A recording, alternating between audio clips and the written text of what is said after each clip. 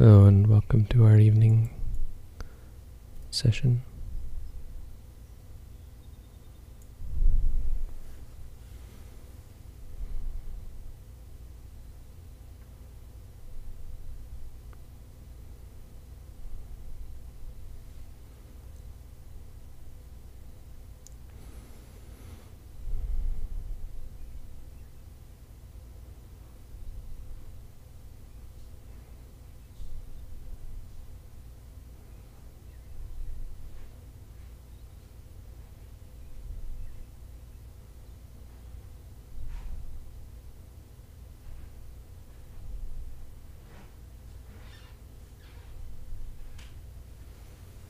You should just stay, just keep practicing. It's better for you.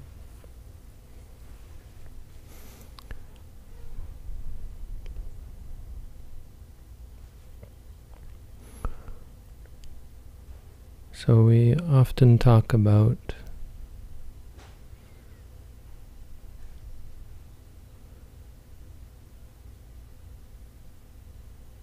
the uh, the sorts of things we're looking for in insight meditation practice. How we're looking to understand impermanence, suffering, non-self, to cultivate insight and understanding about reality deeper than before.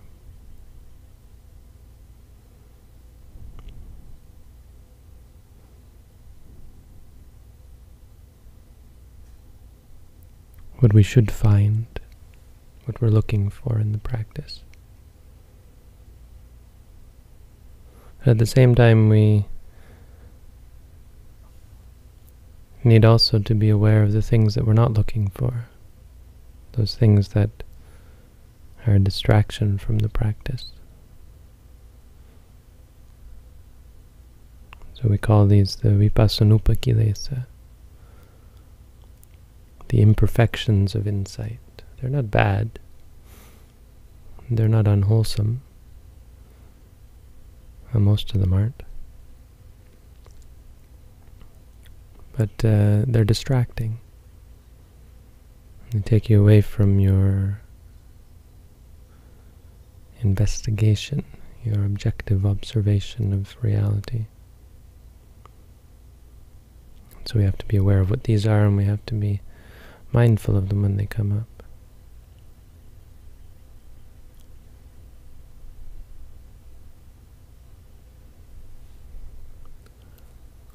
The first one is called Obhasa. It's uh, this interesting phenomenon that occurs when you meditate to begin to see things. It's not just mental images, you actually really see lights, colors, pictures a lot of strange things. For some meditators, even though their eyes will close, it'll feel like the room has suddenly become brighter, like uh, the door is open. It's a common one. meditator will be in their hut in the forest, and suddenly they'll get they'll see bright light, and it'll feel like someone is, or the door has swung open, and they'll actually open their eyes to look. Some it feels like the the roof has, has disappeared and the sun is pouring down, bright light like this, brightness. Some people will see colors or pic or pictures.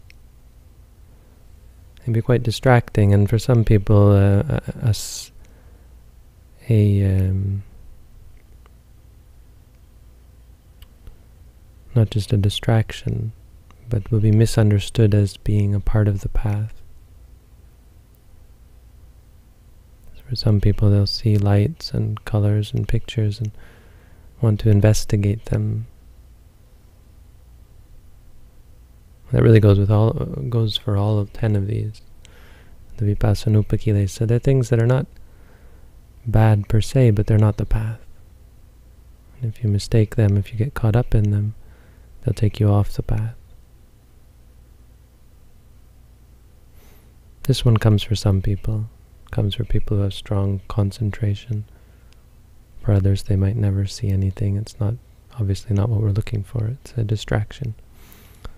When you see, you have to note to yourself seeing, seeing whatever you see, no matter how long you see it for. An important theme here is that none of this is any special. It's all just experience. It comes and it goes. There's nothing special about seeing things.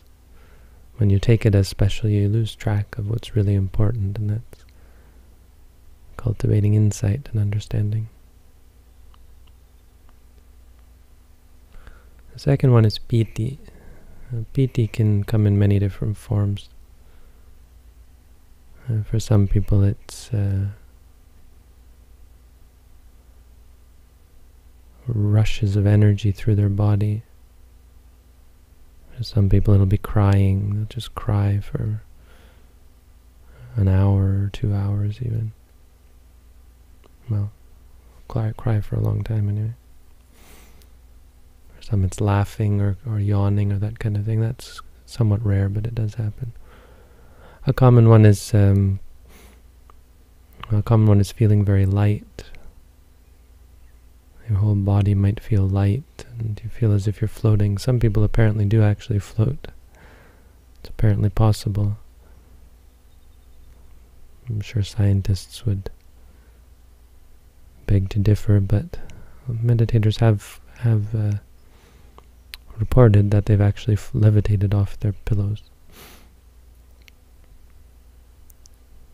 So if it ever happens to you, you should you're, you're supposed to keep a a pencil or a pen by your your uh, sitting mat so that if you float up then float all the way to the ceiling make a mark on the ceiling just to prove that you were there there was one guy who actually did this so I don't know at any rate it's quite common for there to be a feeling of floating Another really common one is this swaying where you rock back and forth. You feel your body rocking. When I first did my course, my body was really strongly rocking, rocking. I thought, oh, this is fun. it's easy to, to sit for a long time that way. You get into this this uh, pattern, but you you you aren't able to see suffering. You're not able to see things clearly because you're enjoying it. There's a pleasure associated with the rocking. So I went to my teacher and he wasn't wasn't too happy. But these aren't bad things, but they're distracting. And if you don't stop them, this one, Ajahn Lumpo Chodok, this guy in Bangkok, he said, this very famous teacher, he said if it doesn't stop, you have to tell it to stop. You have to say stop. He says, what does he say? Kilet ko do. Kilet, kilesas are do, do means stubborn. The defilements are stubborn.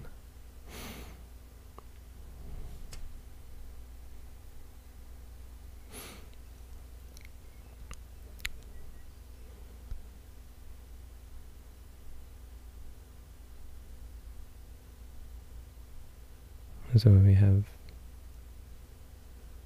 uh, we have then passaddhi, the next one. Or maybe these aren't in order, but uh, passaddhi is another one. Passaddhi is, is calm or quiet. Passaddhi is quiet. So up until this point, especially right before these begin to arise, the mind will have been tortured and chaotic and then suddenly the mind calms down, quiets down.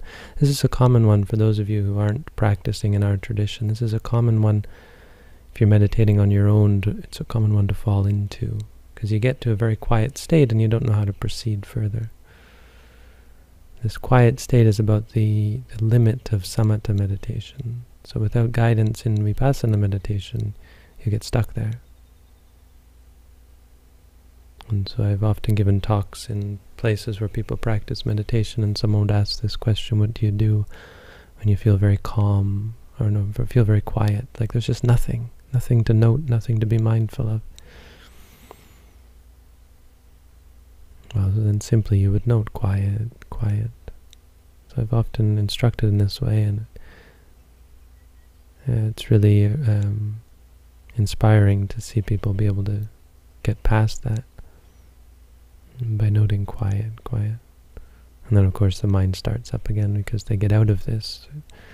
The thing about these um, these states is they become sort of like a broken record where you get stuck in them. So when you pull out of them, you get back into a more ordinary state.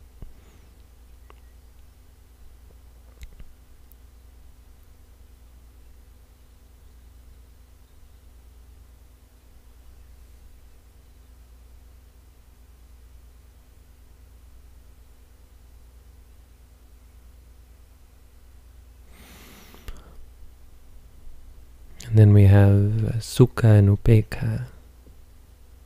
So sukha, some people feel very happy, intense bliss.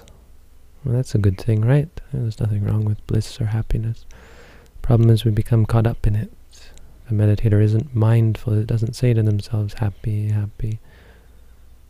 Or if they feel calm, equanim equanimous, they would, they don't say calm, calm and they'll get caught up in it. And then they can get lost in it. And they won't progress. I knew a monk once. I still know him, but I haven't seen him in a long time. Totally and, and unabashedly, unashamedly addicted to happiness. And he'd find anyway, he, he ended up getting a not ended up when I first met him. He he he had this. Uh, he had a, a, CD player, and he would play Pink Floyd or something. When he meditated, he would pay, play some very all sorts of different kinds of music, even I think, but just not really allowed for monks. And he'd put on these big headphones, and he'd just lie there and meditate or sit there. He's actually a very strong meditator. He's this guy who could sit rigid for with a huge smile on his face for hours. I'm not too sure he got into insight. Nowadays he does yoga, I think. So I don't know.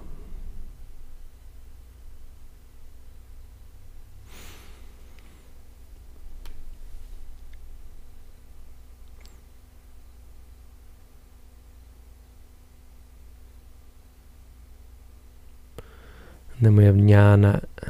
Jnana, I think, comes earlier, but jnana is knowledge. This is a common one. It's not usually that difficult for meditators, but it can be distracting nonetheless. Jnana means knowledge about any number of things. It could be worldly knowledge. You're able to figure out all your problems in life, come up with all sorts of plans and solutions. And I had one guy who came up with a, a perfect business plan he started to do a meditation course and he just said he'd come up with the perfect business plan and he said in five years he was he was sure to be a millionaire or billionaire or whatever. Millionaire I guess. And he said in five years I'll come back and and I'll buy you or you know, build you all these build you a meditation you know he made me all these promises. And I tried to keep him tried to get him to stay and he left and I never saw him again I'm pretty sure he never became a millionaire. Although if he did and he's listening out there, you owe me some goodies. Not, not likely. You get caught up. It's very easy to get caught up in the mind because you're all alone and reality. You get caught, you get pulled away from reality. You end up in fantasy, solving all your problems only to find that the solutions don't pan out in reality. But whether they do or they don't is not the point there. This is not the practice. This gets you away from the practice.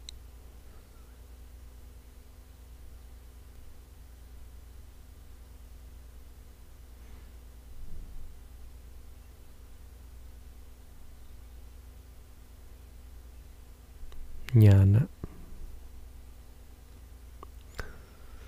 And then we have paggaha, which is energy. Paggaha means very strong energy. Paggaha is a good word. A very strong energy. This one comes in to various degrees. It's only, I mean, these things are, all, many of them are only a problem for certain people. I always tell this story about this woman who just couldn't stop herself. She just, in the middle, of, she just got up and she started walking, rapidly walking around the monastery, around and around and around, and like she couldn't stop herself. She just so much energy. That's maybe the extreme case. Uh, but it is common for people to have bouts of intense energy, feeling like they can practice all day and all night. Just not a bad thing, you know. It's not a bad thing to have good energy. Buddha said, "Viryena dukkha majeti." Through effort, you overcome suffering, but that effort has to be well directed. If you get caught up in the energy and just be pleased, if you're pleased by the energy, you get lost in it. You lose track of your practice and you just sit there energetic and all. And we have adhimokkha, which is saddha, which is uh, confidence or faith. This is a common one. A meditator will come and tell you that they're just... I had a meditator today come and tell me they're very impressed with the practice and how great it is. Some people, the common one here is a meditator will uh, um, start to make plans to ordain or leave leave home. Uh, they'll they'll start thinking about family and friends and wanting to spread the teaching to them. This one's common. This, people, when you get to this certain stage, these things arise for the meditator. And a big one is confidence. Just this they get really caught up in this great faith, uh, not even faith, but perfect confidence because of the results that they've seen, even though it's only preliminary results. Uh, they gain great confidence, get caught up in that. And during the, that time, they get caught up, and you get overconfident, and then you stop meditating. You're sure, very sure of yourself, and so you fail to be careful and uh, meticulous about the practice. It actually takes away from your practice.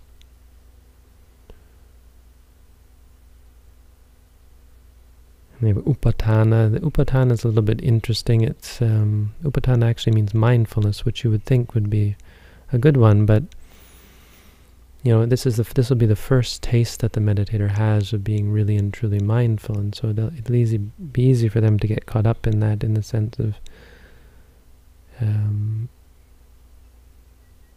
thinking suddenly that they're perfectly mindful, and and thus losing, giving up the effort, or or failing to be again meticulous and, and careful. It can also refer potentially to um, being mindful about the past and the future. So some meditators will have memories about the past, even remembering past lives, but mostly about early childhood and that kind of thing. Memories that I thought were buried and were, were, were gone, actually. Didn't realize they still kept around.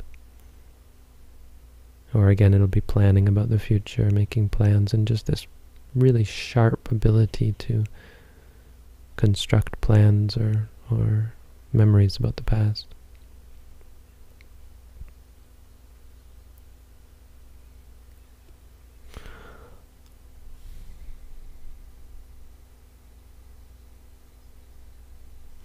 And the last one is Nikanti. And Nikanti is where you get... Uh, Nikanti means like desire. It's uh, when you like something. A very subtle sense of liking. Liking can be any of the other nine upakilesa, but it can also be something you see or hear, or smell or taste or feel or think. Nikanti, because the meditator is suddenly happy and so they have this subtle desire or liking of their situation. And because it's subtle, they may not note it. They may go with it and get lost in it. Nikanti, subtle desire that you, very hard to see, but if you're sitting there very pleased with yourself, very happy about your practice, you have to remember to note liking, liking. It's a common one at this stage. It's not liking something strongly, but it's a liking meditation, feeling happy about your practice and enjoying the practice, right? Because it takes away the, the sharp edge of mindfulness, the clarity. You start to get lazy and you start to get complacent and you lose the present moment. So for all of these, they're, they're, they're not an obstacle, um, but they're, they're a distraction, and they have the potential to distract the meditator. As with everything, the, the bad things, the good things, it's all up to your mind, how you interact with them, how you respond to them. Meditation is about changing the way we look at things, changing us, changing the core of who we are. I was thinking, um, trying to think of an analogy, and it made me think of something, and at first I couldn't think of what it was, but then I realized it was the Borg. There was this show, uh, probably some of you heard of it, called Star Trek, and they had several versions of it, but in one version there were these group of beings called the Borg, and they would assimilate everyone, all the all the other beings. Thought, well, that that's what I was thinking of when meditation is kind of like brainwashing or assimilating, where kind of like a parasite. You have this host, and this host has all sorts of, this has a real personality. How, how it relates is because we're not interested in the personality. We're not interested in your experiences. It's not like we're going to totally eradicate them. But meditation is a whole new aspect of who you are. It's creating habits that you may never have developed before. So in a sense, it's creating a, a, a new entity in the in the host. And so everyone comes to meditation quite with quite different characters and personalities. And none of that's all that important. None of it, it's not, it's not going to change completely or disappear completely, but we're using this host like, uh, like planting a seed in the earth. But the seed is something quite different. The seed of meditation for many people is something quite new. And so you end up assimilated in a sense. Everyone will still look different, speak different, act different, but we have something in common. And that's all we're looking for. All of these different experiences one might have, all, because every meditator is different. If you see a thousand meditators, you'll have a thousand different conditions. Everybody's a little bit different. But none of that's really all that important in the meditation practice. So as a meditation teacher, you're not really concerned with any of the particulars of the individual. You're concerned with creating a seed, planting a seed.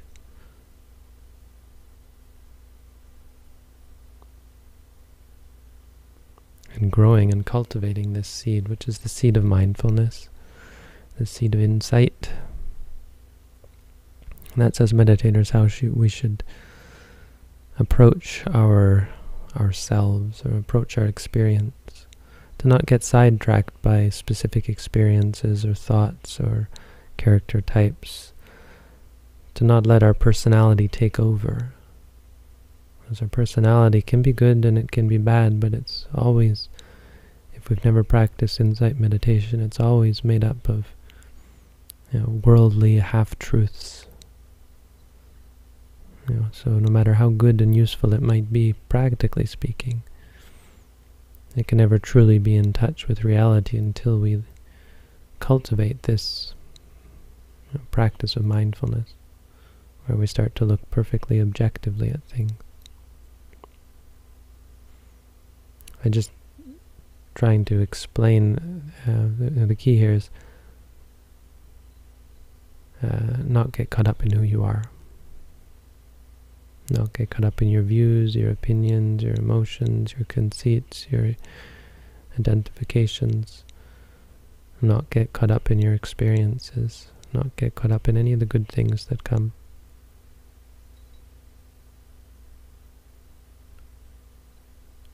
Try to be objective and have, have a pure state of mind during the practice. So, there you go. Some caution, some direction. I think that's one of the most important aspects of the practice is providing direction and, and correction when we start to get off track. So there you go. If there are any questions, I'm happy to answer them now.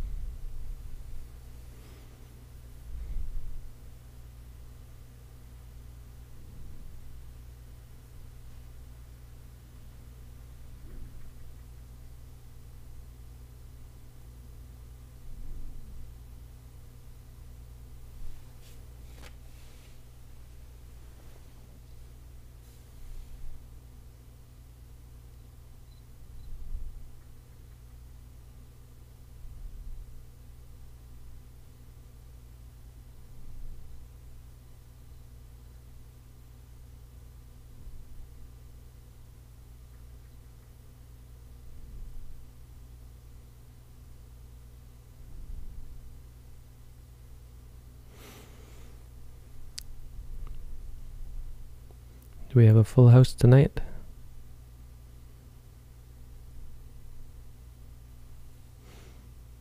This is probably our fullest yet. Good turnout.